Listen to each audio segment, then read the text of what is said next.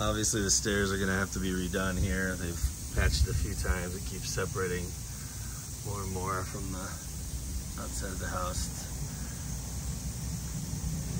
We've in February, it's August now. So I don't see this just magically fixing itself. I think these need to be replaced.